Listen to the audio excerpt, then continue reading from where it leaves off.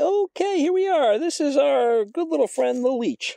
He is uh, a leech, and he's coming out of this nice, fresh, as I back up, this nice lake. And he was swimming along, and now he's on shore. We're not sure why, but he's, um, this is what he does. He, uh, he comes along and he, uh, moves his head, and, uh, he looks for a nice path, and he goes up and down and look just like that.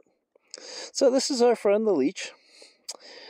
He's only our friend because he's not sucking blood from us, but they say that a lake with a leech is a clean lake.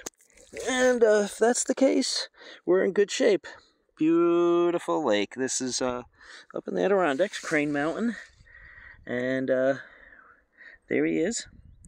We're just going to watch him chug along a little bit. He was in the water. He swam up. We don't know what he wants.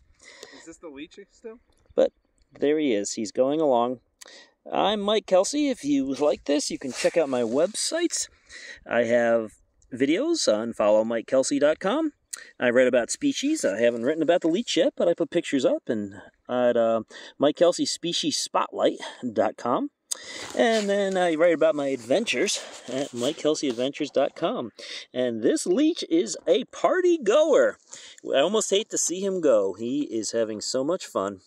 And we don't know what he's doing or why, but he definitely is an active leech. And uh, that's as close as you ever want to go to a leech. Mike Kelsey signing out with our friend the leech. Bye bye.